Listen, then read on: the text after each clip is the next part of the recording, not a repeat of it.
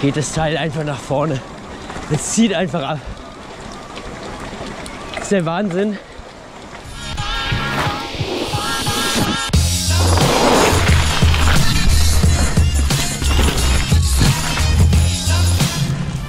Hey und Servus zusammen. Ich freue mich, dass ihr wieder mit am Start seid. Ich habe heute die Möglichkeit, das brandneue Fly-On zu testen von Highbike. Mega, mega cool hier während des Bike Festivals in Riva am Gardasee. Ja, habe ich mich eine Stunde rausgenommen, habe das Teil jetzt mal eine Stunde berghoch gefahren, bergab gefahren, zwei, drei Trails mitgenommen, bisschen steilen Uphill, konnte ja leicht testen und muss sagen, geil, macht eine ganze Menge Laune, cooles Fahrrad, checkt das Video.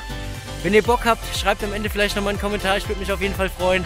Haut rein, viel Spaß mit dem Video, Servus! So und willkommen ja hier vom Gardasee. Hier ist im Moment Bike Festival. Ich habe die Möglichkeit hier das Fly-On mal zu testen.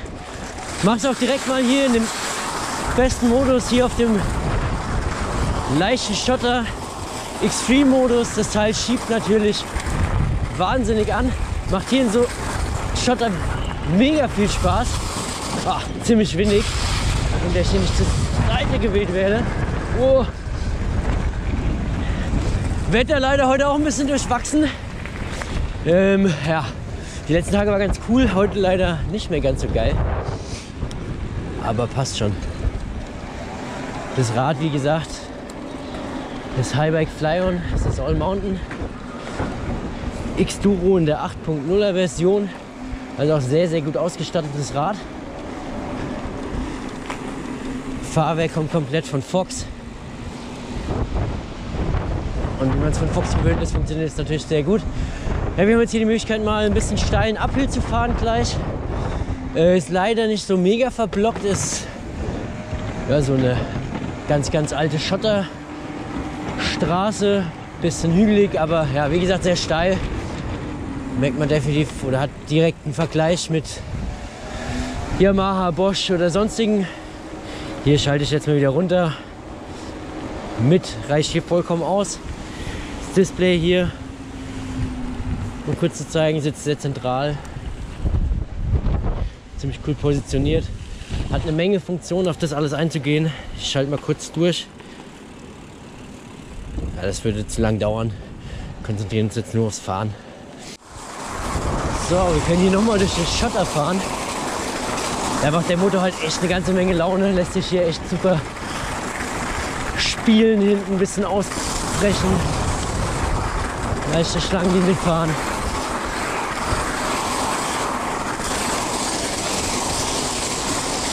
Ja, richtig, richtig geil.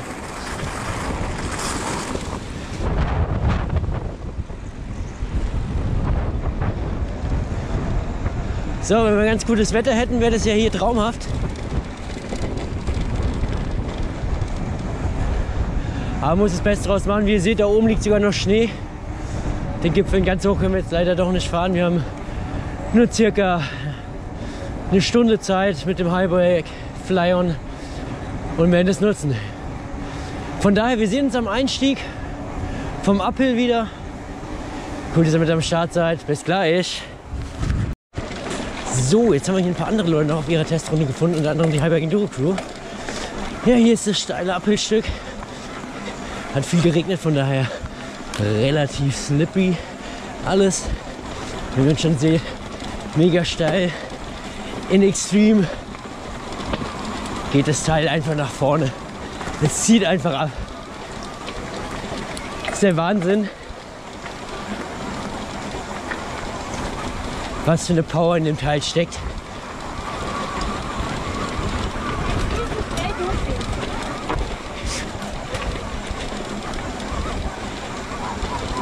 Die da hier am Fotografieren.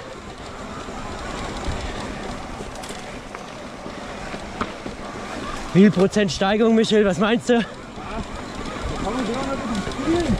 Bei 60 Prozent Steigerung.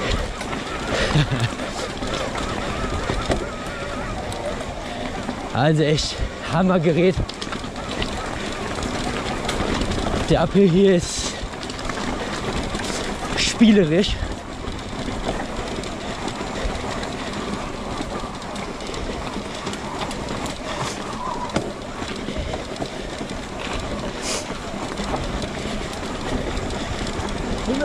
150 Puls.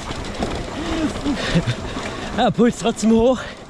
Allerdings gehen hier auf dieser Holperpiste annähernd 20 km/h in der Steigung. Wahnsinn.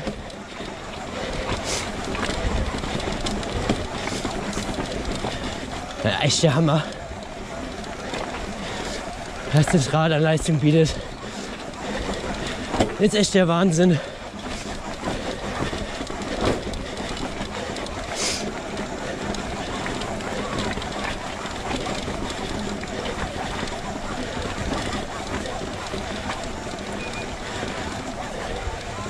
Es nimmt jedem Uphill auf jeden Fall den Schrecken. Sehr geil. Uphill war mega. Wir sehen uns gleich wieder vom Downhill. Cool, dass ihr dabei wart. Bisher, ich muss sagen, berghoch die Performance ist unvergleichlich. Gibt eigentlich nichts anderes, äh, was so viel Bums hat. Ja, macht echt eine Menge Laune. Sehr geil. Bis gleich. Servus. So, was mir auch super gut gefällt, ist der Übergang, der smoothie Übergang ab 25. Ja, man merkt eigentlich überhaupt gar nicht, wenn man über den Punkt tritt. Ist einfach, ja, super Übergang. Fühlt sich absolut natürlich harmonisch an. Die Software ist auch komplett von Highbike entwickelt, angepasst, optimiert, getestet. Somit ist es ein absolutes rundum sorglos Paket. Hat in jeder Lage mehr als genug, genug Power. Kann auch immer noch mal in den Extreme Mode, wenn man noch mal wirklich die letzten Meter am Berg richtig, richtig Dampf braucht. Da ist auf jeden Fall mehr als genug vorhanden. Ansonsten, da fällt sich das Fahrrad echt super. Ja, natürlich, fühlt sich gut an. Macht eine ganze Menge Spaß. Hier jetzt berghoch, es wird ja oft bemängelt, ja, das Rad ist so schwer. Es wiegt natürlich seine 27, 28 Kilo. Allerdings hier im Uphill mit dem starken Motor merkt man davon recht wenig bis gar nichts. Ähm, der Motor gleicht es vollkommen aus. Absolut kein Problem. Läuft richtig gut so. Ähm, der Walk Mode ist auch noch ein bisschen überarbeitet worden, habe ich jetzt gehört. Also der ist noch mal ein bisschen stärker gemacht worden. Das heißt, wenn man irgendwo am Berg das Fahrrad schieben muss, muss man nicht so das gesamte Gewicht den, den Berg hochschieben, sondern hat immer noch die Unterstützung und die wurde jetzt, wie gesagt, noch mal optimiert, dass sie soweit passt und noch mal ein bisschen mehr Power hat. Ja, hier langsam klart hier wieder auf, von daher mega, mega geiler Ausblick bisschen mehr Sonne wäre schon cool, dass man den Dirtlane nicht zwingend bräuchte. Aber ja, alles cool. Hauptsache wir können mal hier auf dem, auf dem Teil sitzen und das mal ausprobieren. Ich denke, da ist jeder scharf drauf. Meines Wissens nach müsste es jetzt auch auf jeden größeren Festivals, wo Highbike mit dabei ist, die Flotte Highbikes geben zum Leiden, zum Testen. Allerdings meistens nur in geführten Touren oder nur in geführten Touren. Was meiner Meinung nach auch wirklich super und sinnvoll ist. Man bekommt die Funktion gezeigt, kriegt ein bisschen Infos zum Motor, zum, zum Bike selber. Hat jemanden an der Seite, der vielleicht noch ein paar coole, coole Tracks weiß und kennt. Von daher finde ich das super, super gut. Perfekt gemacht. So, wir fahren jetzt mal zu einem Trailstück. Leider nicht äh, ganz so lang. Wie gesagt, ich habe nicht so viel Zeit, das Bike zu testen. Vielleicht wird es noch mal ausgehen, dass ich noch mal ein paar Minuten irgendwann mehr habe, wo ich dann auch das Display und die Funktion erklären kann, weil es doch schon sehr umfangreich ist. Super viele Informationen. Also für Technikbegeisterte das absolute Maß der Dinge.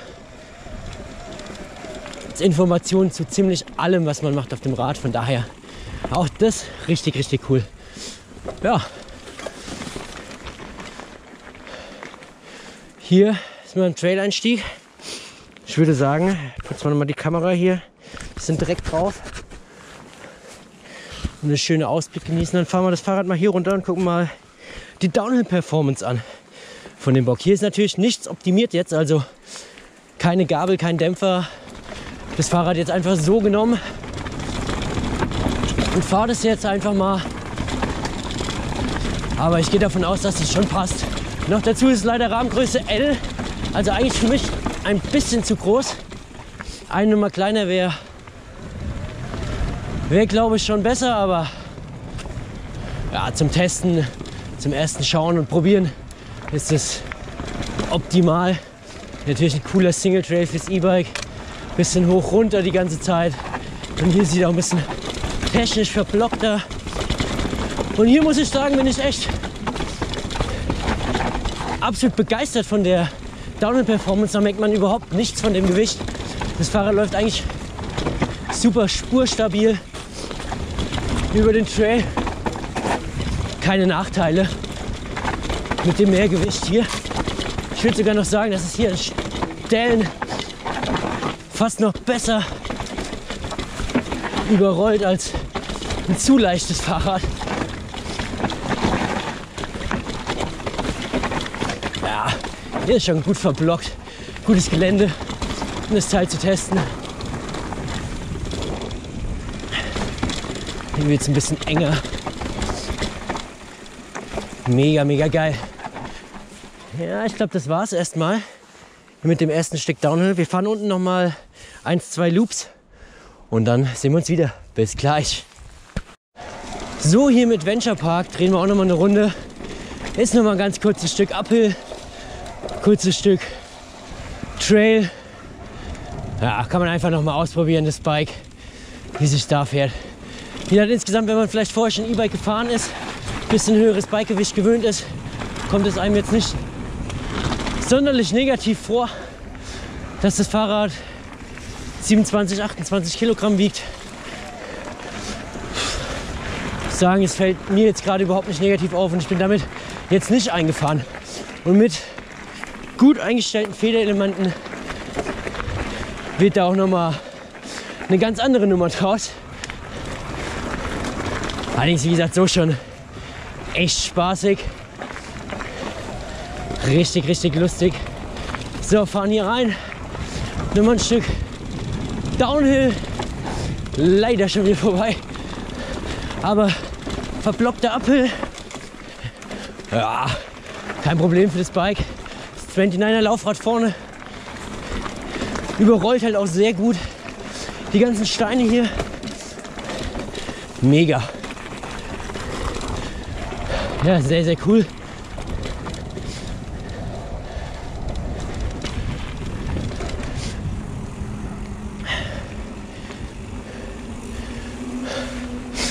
Oh. Außer Atem ist man natürlich trotzdem. Aber wow, Wahnsinn. Das Teil ist echt eine absolute Granate. Was ganz anderes als alles, was ihr so aktuell fahren könnt. Wie gesagt, sehr, sehr interessante Detaillösung. Das Display hat eine Menge Funktionen zeigt eine Menge Informationen an. Also für Technikbegeisterte ist es absolut das Fahrrad momentan. Ja, wir fahren jetzt zurück nach Riva, putzen das Bike, geben das ab und dann sehen wir uns noch mal zum Fazit wieder. Haut rein, bis gleich. Hey und willkommen zurück. Cool, dass ihr das Video bis zum Ende geschaut habt. Ich hoffe, euch hat es ein bisschen gefallen. Ihr habt einen wenigen Eindruck bekommen von dem brandneuen Flyon aus dem Hause Highbike. Ich hatte leider jetzt nicht so viel Zeit, das Bike komplett zu testen, euch die Funktionen vom Display zu erklären und so weiter. Allerdings glaube ich, für den ersten Eindruck hat es vielleicht gereicht. Eventuell habe ich die Möglichkeit, irgendwann nochmal ein längeres Video zu machen, ein paar Sachen zu erklären. Ich muss sagen, das Teil macht eine ganze Menge Laune. Super innovatives Teil. Macht echt Bock. Probiert es aus, wenn ihr könnt. Und bis dahin, haut rein. Cool, dass ihr mit am Start wart. Bis dann. Servus.